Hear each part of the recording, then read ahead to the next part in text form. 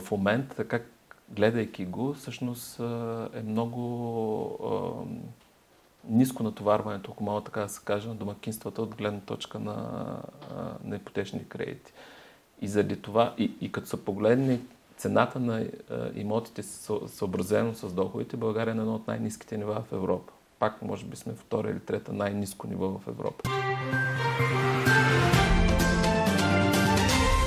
Каква година предстои за българската економика? какво да очакваме от условията по кредитиране у нас и готов ли е банковия сектор за приемането на еврото. Гост в подкаста е Боян Стефов, изпълнителен директор и ръководител корпоративно банкиране в банка ДСК. Здравейте! Здравейте! Как изглежда през вашия поглед на корпоративното банкиране и корпоративното кредитиране 2023 година за българския бизнес? 2023 година беше доста интересна, поради проста причина, че различните части от индустрията имаха различна динамика. А, ако българската економика, грубо казано, има няколко основни стълба, различните части от различните стълбове всъщност имаха много различна година. Ако започнем с земеделието и въобще производство на храни, нали, имаш и, как да кажа, и доста голяма динамика в последните дни а, те сериозно пострадаха поради факта, че а, последната селстопанска година засяването, торове, горива бяха скъпи, а продукцията, всъщност цената им много падна а, в края на годината и съответно маржовете им бяха много, ако мога така да се кажа, смалени и поради тази причина имаха доста трудна година.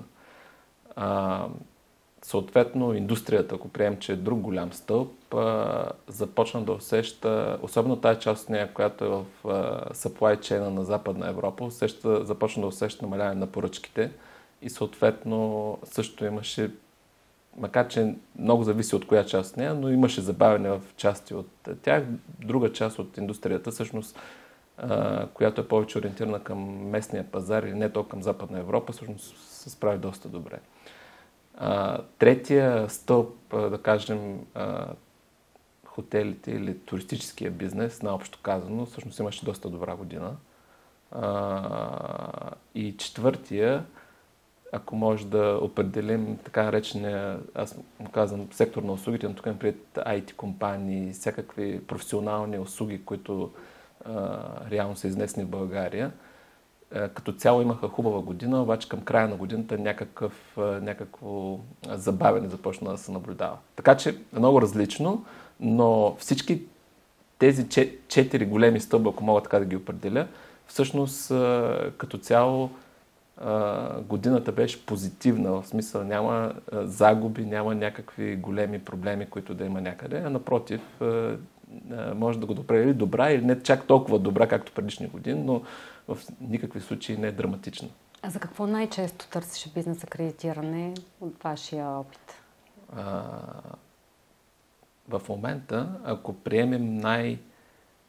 от гледна точка на обем, а, големия, голямата тема е всъщност а, а, така наречения Green Transition или нали, преминаването към а, а, източници на енергия, които са базирани на възобновими източници.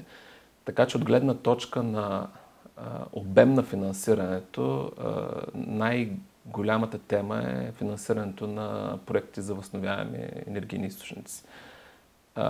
Миналата година този тренд се засили до много големи нива и всъщност това е основният двигател на, в, бих казал, даже последните две години, що се касае до големо инвестиционно финансиране. Всички други части в инвестиционното финансиране са много по-малки в сравнение с това, драматично в пъти по-малки. Очаквате ли това да продължи? Защото ESG, изискванията и изискванията точно за устойчивост mm-hmm. вече се а, насочват и към по-малките компании, което mm-hmm. означава, че и те трябва да отговарят на определени условия. А, със сигурност ще продължи в няколко различни аспекта.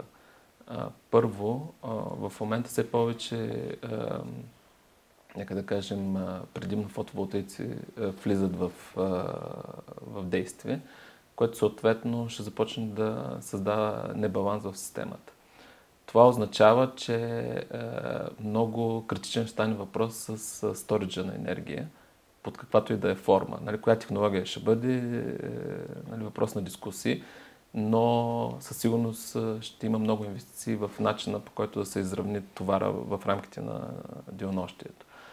А, второ, а, това, което вие казахте, всъщност а, много ESG изисквания а, идват в различни индустрии, в различни сфери на, на економическата активност. Това съответно води до определен брой инвестиции, свързани с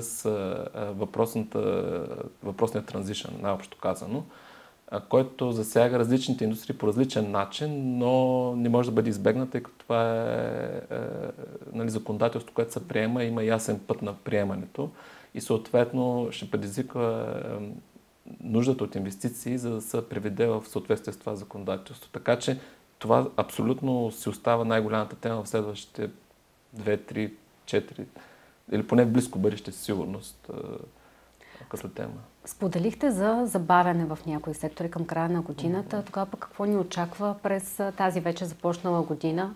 Инфлацията продължава да е по-висока от средното за Европейския съюз, но пък и безработицата е ниска.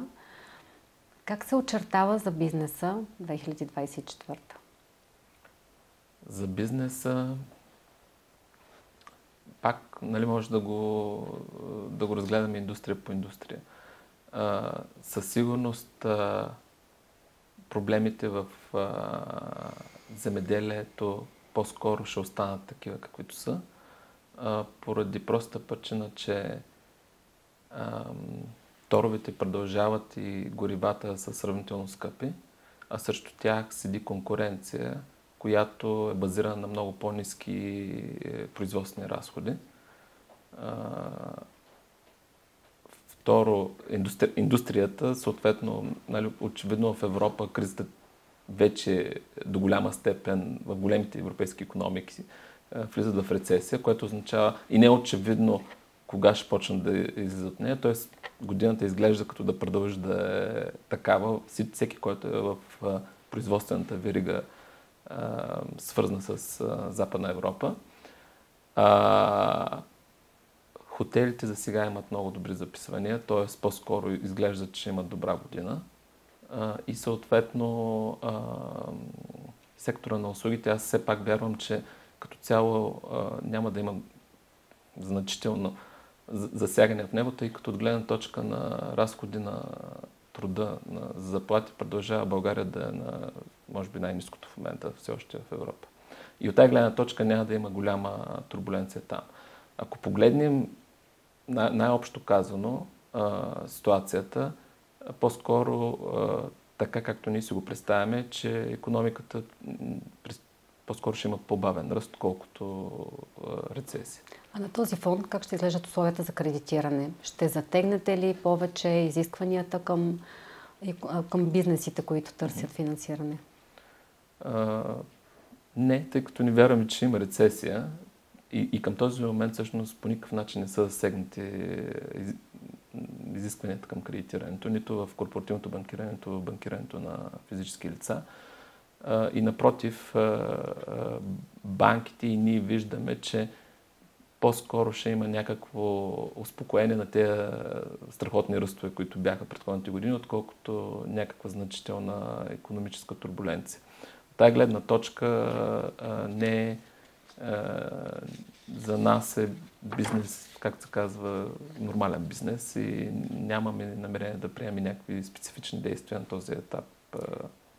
По отношение на лихвите, България все още са по-низки, отколкото средното за Европа отново. Така ли ще се запази или постепенно ще вървим към изравняване? Още повече очакваме приемане към еврозо... в еврозоната? Според, според мен ще се запази абсолютно на, на много по-низки нива. България по същество е влязла в еврозоната, що се касае до ликвидите от 20, повече от 20 години всъщност. Тоест, ликвите до голяма степен ефекта, какъвто и да е от влизането в еврозоната, от тази гледна точка е консумиран от много отдавна. В България всъщност ситуацията е, е движена по-скоро от, друго, от, от, от, от друг елемент. А, депозитите или привлечените средства в България са много повече от кредитите в България. Грубо казано, съотношението е около 70% кредити към депозити. Въпросът е, че при тази голяма ликвидност а, за банките, а, която и от тях да реши да вдига ликвидите, много бързо ще загуби пазарен дял, тъй като ще бъде заместена от, от останалите конкуренти на пазара. И в този смисъл дигането на лихвите, за което се говори, по-скоро ще плавно, много бавно движение, доколкото се случва, тъй като единственото, което банките могат да правят, имат альтернативата, разбира се, да пласират в, в чужбина на по-високи цени.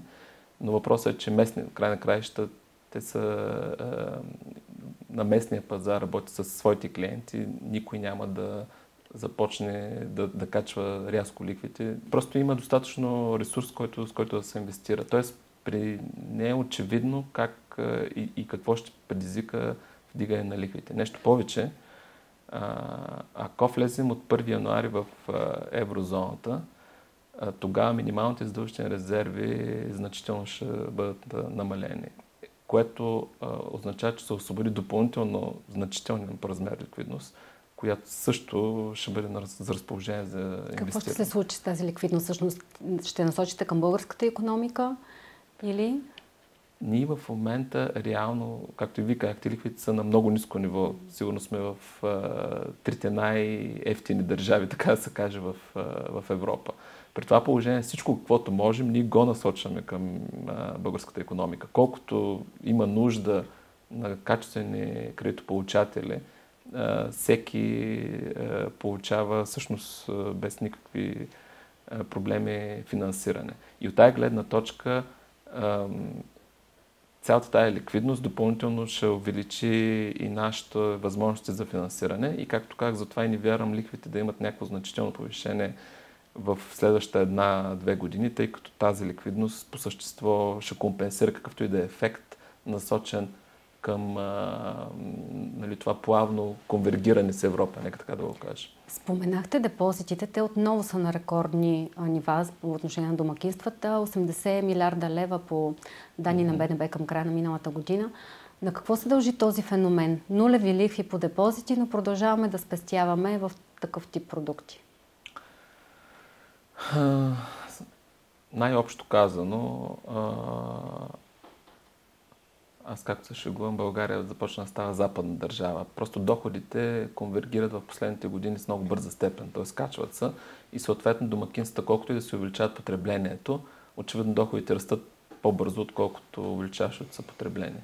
И в този смисъл а, остава, а, генерира се допълнителен ресурс, който реално е съответно в банките и съответно пък а, задвижва економиката, тъй като чрез него се кредитира и, и това поддържа ниски лихвите. Това нали, е много и важно в този момент, тъй като нали, четем и гледаме, на Запад вече има забавене, има съответно някакво успокоение на имоти, на бизнеси, има фалити първи. Въпросът е това в България на този етап изглежда много малко вероятно да случи, тъй като ниското ниво на ликвидите съответно оказва подкрепа на и компаниите, и на домакинствата. Ако има някаква турбуленция, съответно ни му казва натиск върху финансовите резултати допълнителен и ни им изтегля ликвидност. Тоест това действа и благоприятно и всъщност помага също да е по-добра годината, ако мога така да се изразя за економиката. Ипотечното кредитиране също бележи големи ръстове и през миналата година, всъщност последните няколко години. До кога според вас ще е така. И а, този страх от увеличение на лихви, който все пак съществува в, в економиката и в населението, дали ам, дърпа назад и всъщност а, така охлажда сектора? Ми, на този етап не е очевидно да го охлажда. Всъщност а, продължава много добре да, да се развива ипотечното кредитиране.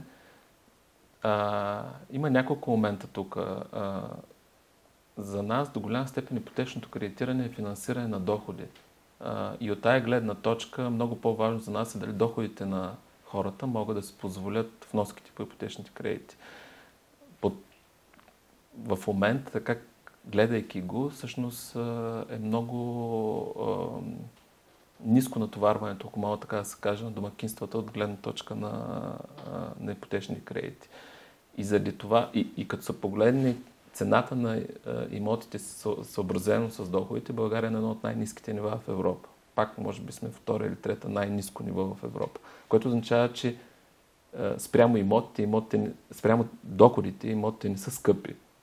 Най-грубо казано.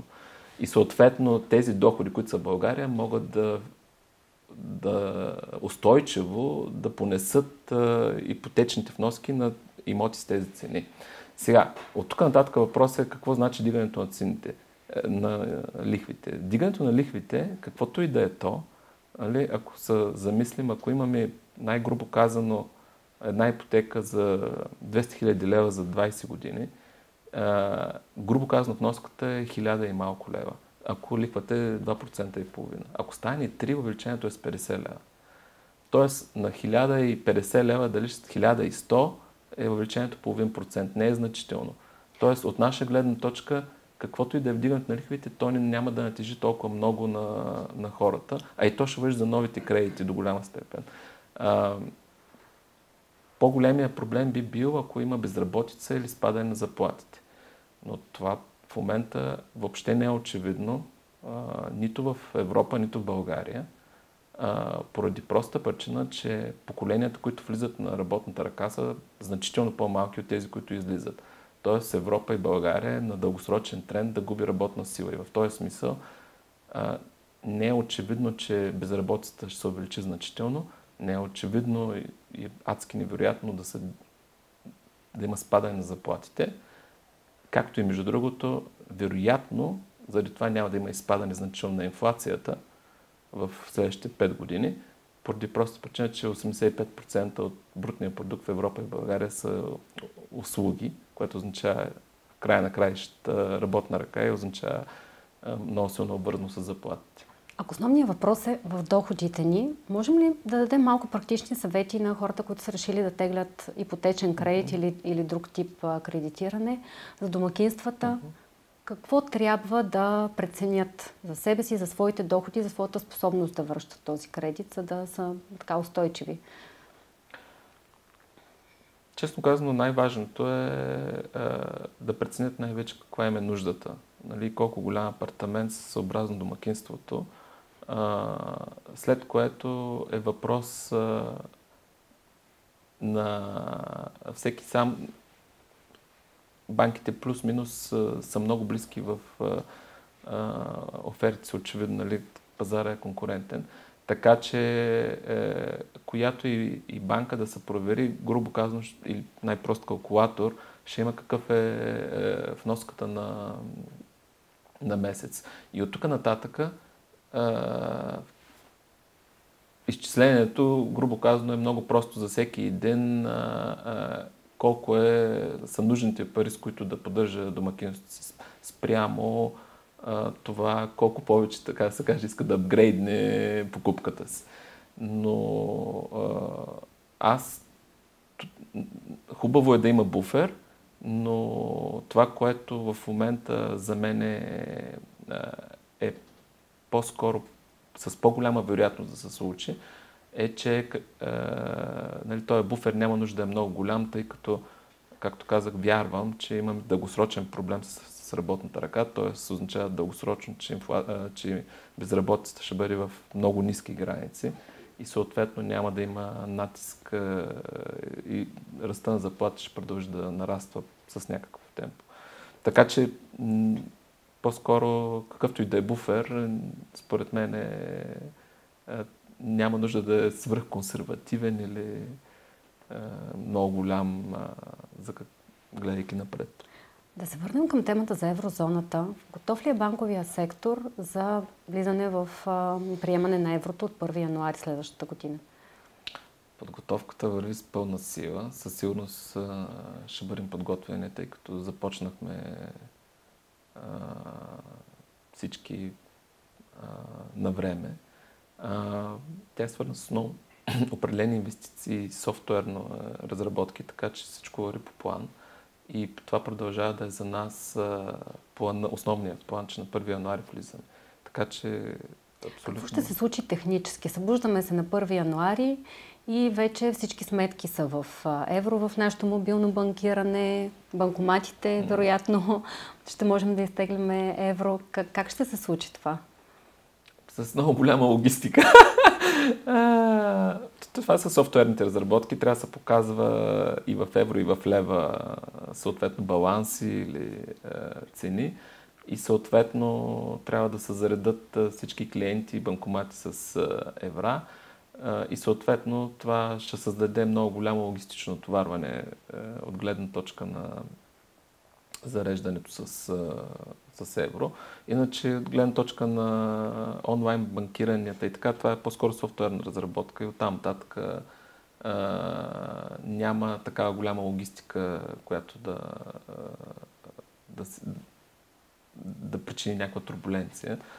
А, така че, честно казано, е въпрос на добра организация, а, нали, всичко предварително, така че на 1 януари всичко това да е в готовност а, и на съответно определен брой закони, подготовка също и на държавата за, за това. Според мен всичко върви по план, поне в, в банките и не Ще се променят ли условията? Лихви, такси, автоматично, тъй като всъщност сега виждаме, че има разлика между левови и еврови сметки, депозити, кредити. Какво ще се случи? Няма да се променят условията. А референтните лихвени... Дори в момента а, повечето клиенти, например, при нас имат избор. Референтния не е задължително, ако е в евро, кредитът да е базиран на Юрибор а, голяма част от нашите кредити, това е въпрос на желание на клиента, евровите са базирани също на местния депозитен индекс. Тоест по същество е абсолютно едно към едно с И това левовете. планирате да се запази? И това планираме да се запази. Няма, няма причина да конвертираме от местен депозитен индекс към, а, към а, Юрибор. Въпросът е такъв. А, ако системата е свръхликвидна, много по-удачно е местният депозитен индекс, поради проста причина, че от гледна, от гледна точка на нас като банка, ние фиксираме нашия марш. А, и в този смисъл минимизираш риска. А, така е добре и за, кредит, за кредитополучателите. До някъде нали, може да се спори, че е, създава, как да кажа, за депозантите биха могли да изкарат по-голяма доходност от парите си. Въпросът е такъв, че е, нали, в края на краища системата ще го регулира, тъй като а, в момента а, депозантите са на нулеви лихви, наобщо казано, или близки до нулата, и съответно някаква доходност опортунистично се губи.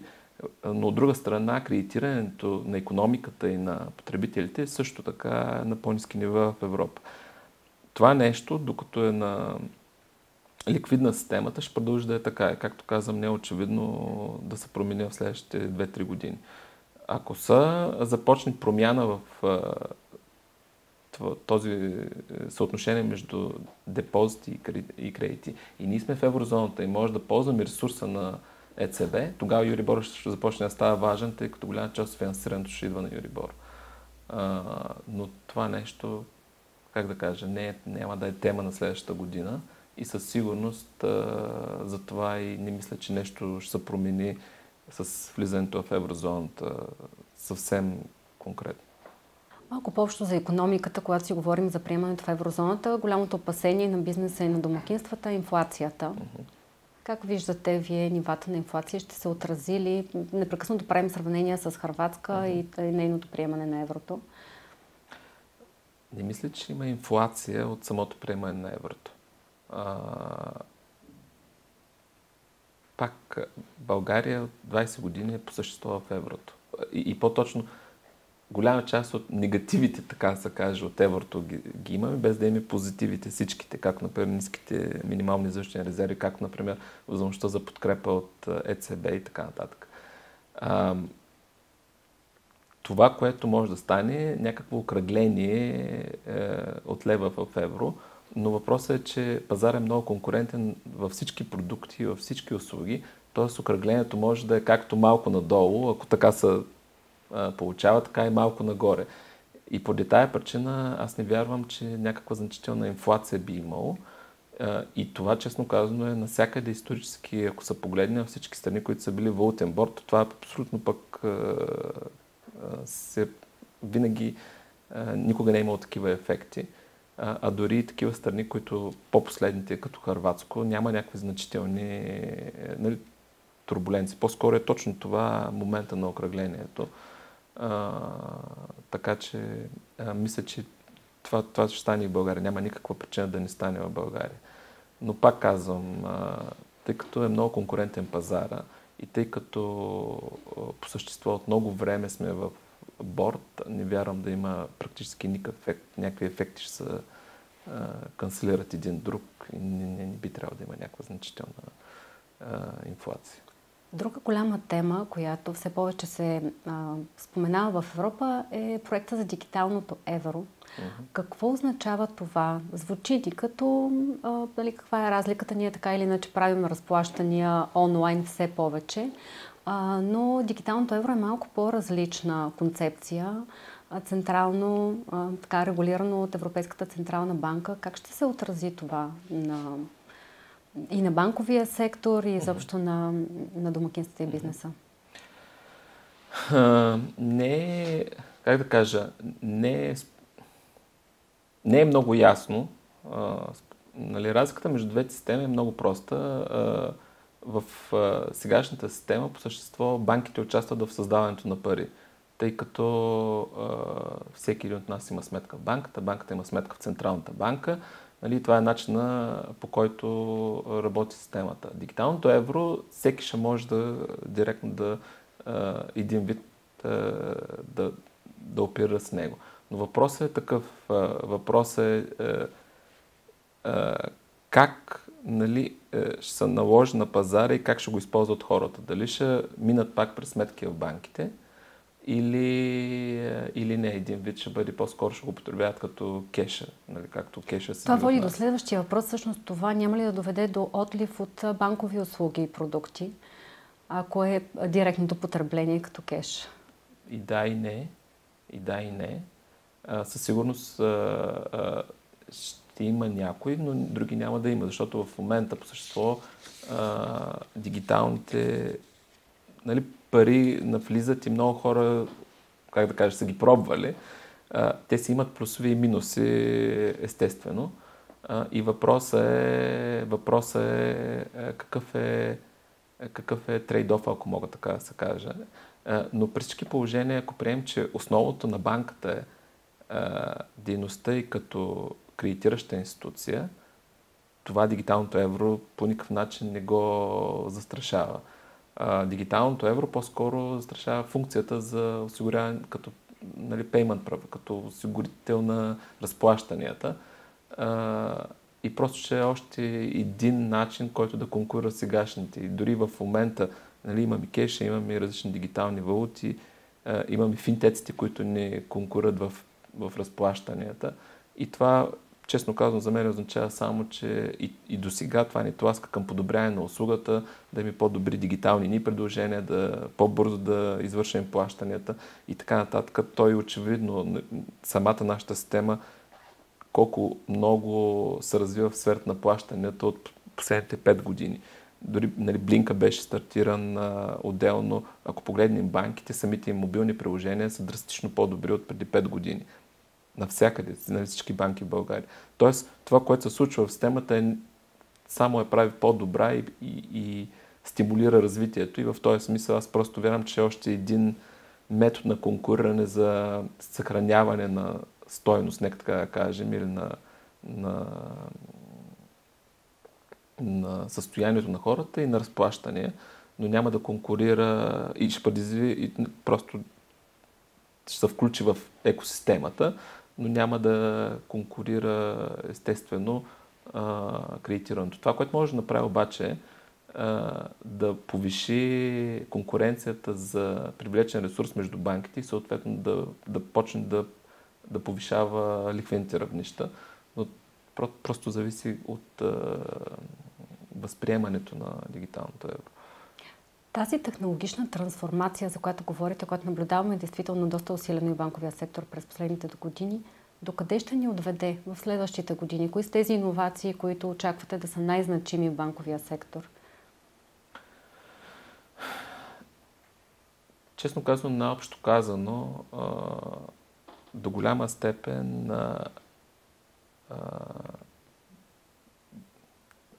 банката не е един бизнес. Банката са много бизнеси под един покрив.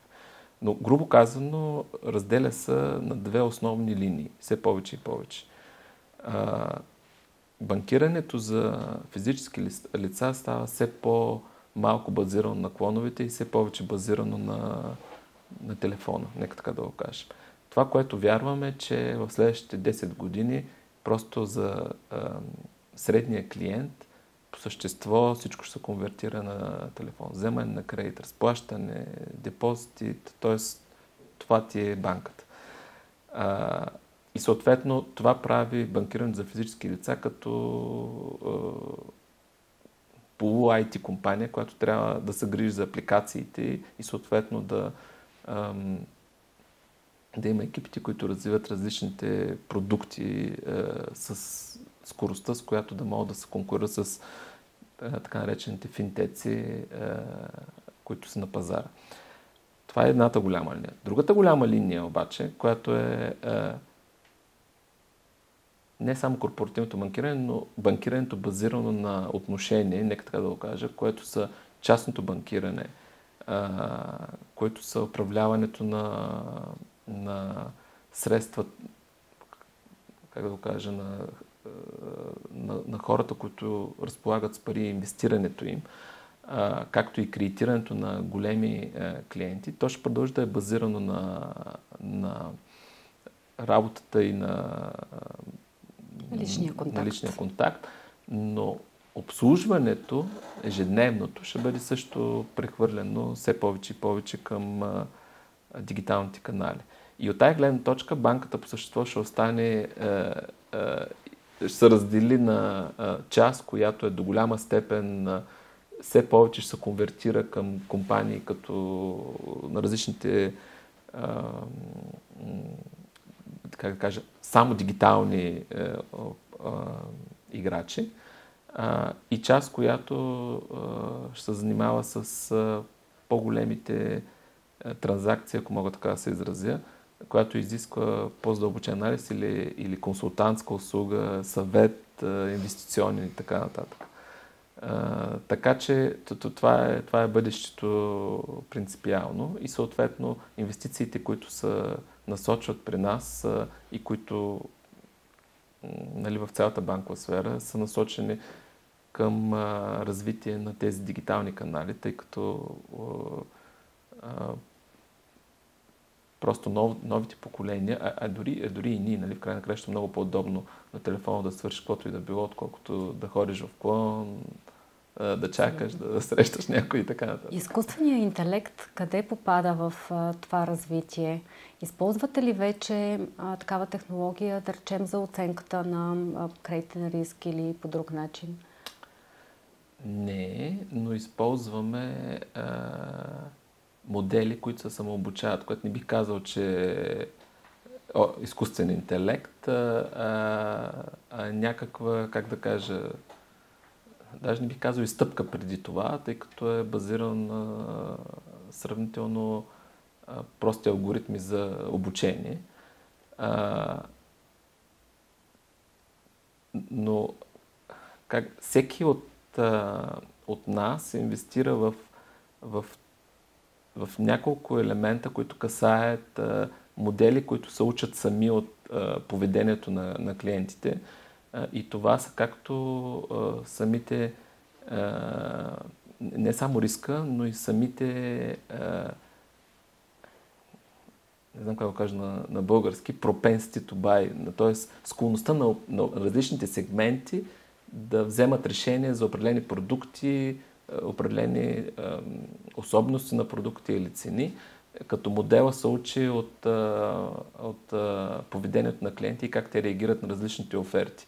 Това го има и в момента и, и ние работим в тая насока, което още не е изкуствен интелект, естествено, но само по себе си е на пътя, тъй като самите модели се обучават сами, се учат от поведението на, на клиентите. Стават по-персонализирани услугите, Да, тъй като той реално моделите правят много финна сегментация, много голяма и след това реално се учат на поведението на тези сегменти, как те възприемат различните оферти, продукти и прочие.